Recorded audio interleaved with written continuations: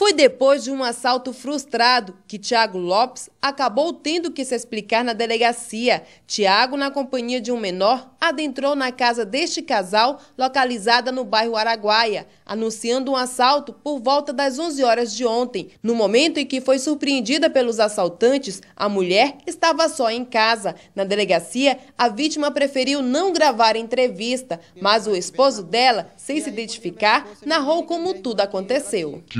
Dois rapazes batendo na porta, dizendo, e a minha mulher abriu a porta. Aí ela dizendo, perguntando que disse que queria comprar um terreno. Aí que quando ela falou que o, é, o dono do terreno era um rapaz chamado Pezão, que era do lado. Aí que quando ela, ela disse que esse, o, esse mais grande que foi preso, a, voou no braço dela e disse que era um assalto. Aí amarrou ela de baixo para trás, mas o outro levaram para dentro de casa. E aí encostaram a porta. Aí nesse, nesse ato ele, ela pegou, ele pegou, entraram todos para dentro do quarto para revistar as coisas dentro de casa. Que o que ela desse o dinheiro, ela conseguiu se soltar e abriu a porta e saiu correndo pedindo ajuda. Atendendo aos pedidos de socorro da mulher, os vizinhos conseguiram capturar um dos assaltantes e depois acionar a polícia. Como nós chegamos, já tinha sido pego já pelos populares e já pegamos do jeito que pegamos, né?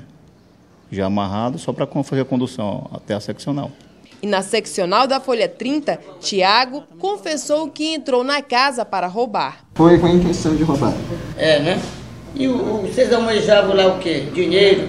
Ele falou que lá tinha muita coisa lá. Uhum.